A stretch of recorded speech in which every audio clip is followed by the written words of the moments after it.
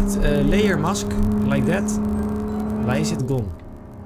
Oh wait, Control E and then we uh, eh, we uh, eh, delete the leg because we don't want to see the leg. Very realistic. As you can see, this looks absolutely wonderful. Except my arm needs to be behind the